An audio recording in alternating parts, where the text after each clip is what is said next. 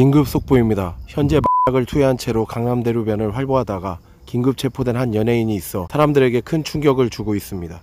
이 배우의 정체에 대해 인터넷 커뮤니티에 영화 범죄와의 전쟁에 출연하고 말죽거리 잔혹사에 출연했던 한 주조연급 배우를 유력하다고 보고 있는데요.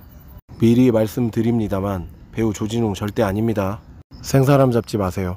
일단 기자 친구 말에 따르면 이 배우의 경우 최근 영화 주연을 맡은 적이 있고 과거 배우 이병헌이 나온 모 영화에서 상당히 인상 깊은 연기를 펼쳤었습니다.